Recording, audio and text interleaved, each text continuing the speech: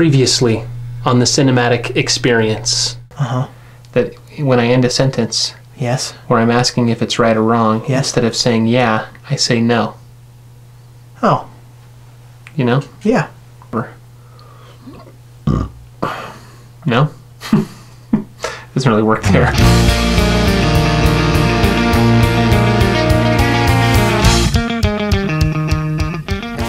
Welcome back to the cinematic experience. My name is Cameron Daly.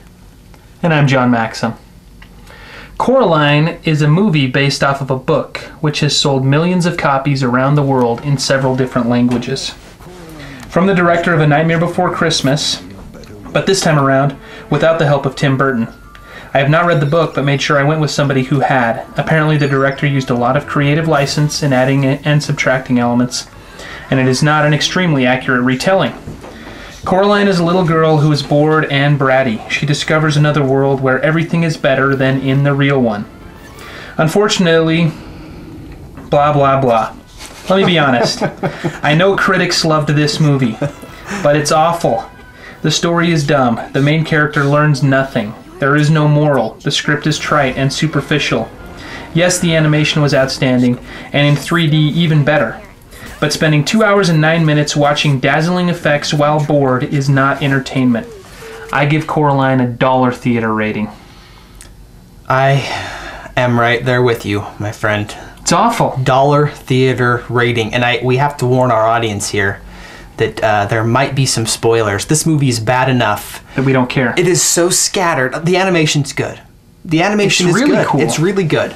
but, I can see stuff like that on YouTube. this Coraline apparently uh, doesn't like her real parents. She's a which, brat. which is pretty typical. An unlikable character she finds other parents that are great in another world. in another dimension great. or something, and Her she likes them because they make her good food.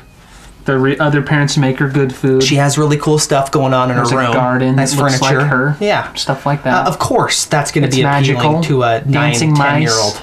Yeah. Uh, but who really cares? Yeah. This movie could have been ten minutes long. Yeah. Really. Watching all this, the I'm- characters. What's the point I'm thinking to myself, thinking, okay, I got to pay close attention here because this weird guy that lives upstairs and this weird lesbian couple that lives downstairs. You don't know that they're lesbians, dude. That's true. You don't. They never. They never say that. They could be really good friends like us. Yeah, but it's a common mistake people make with us as well. Okay, So, fine. so uh, you know what? I got to pay attention because whatever they say or do, it has something to do with this movie. Well, you find out that it really doesn't. Yeah, it has no. They have absolutely nothing to do with this movie except the scene where the lesbians are dancing around naked with like pasties on. the, the might be lesbians. This is definitely not a kids movie. No, no, no, no. I, in fact, there were kids all all around me in the theater, Uh-huh. and they were bored. And they were running around up in front and like playing tag and stuff. like they were not watching this movie at all. And you know, and everyone I went with was also bored. And the critics, I, I don't get it. They love it. I've never, I haven't heard the critics love this. That actually surprises me. And what? Okay, one last thing here. The 3D. I, I, I don't I don't know what all the hype is about this 3D. I mean, I thought it was pretty cool. A lot of 3D movies find excuses to have an arm swoop out into 3D, and mm-hmm. everyone's like, "Oh." I think 3D complemented this better than most did you 3D get, movies. Did you get disposable glasses when you went to this? Yeah. You did.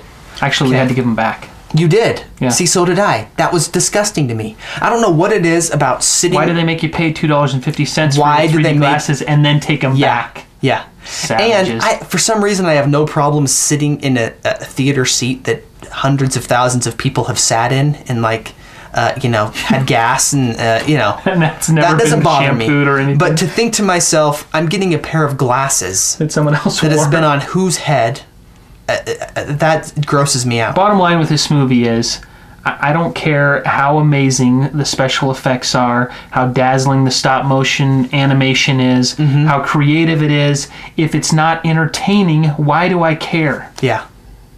It was a waste of my time. And money. Dollar theater. Dollar theater.